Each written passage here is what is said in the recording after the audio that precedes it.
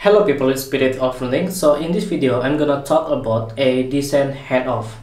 In order to build an application such as for the desktop, mobile, watch, even an iPad, most people will start it from the design process such as sketching, wireframing, prototyping, usability testing, and after the design is complete, we want to deliver to the developer team so they're able to start work on the development process.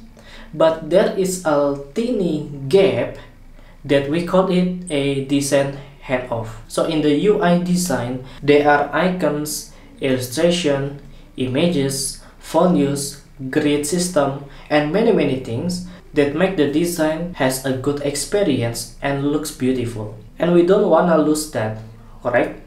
We don't wanna lose that kind of valuable things and we want to bring them into the development. So whenever the application is ready to use it has to be precious like a design that we did previously. So the design handoff let the developer and designer work collaborate.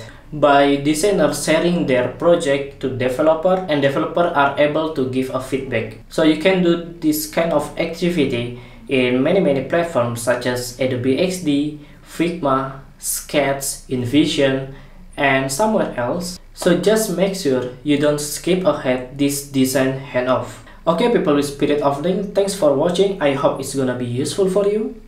And please let me know if you do have any question in the comment below. So people with Spirit of Learning, I'll see you in the next video. Bye!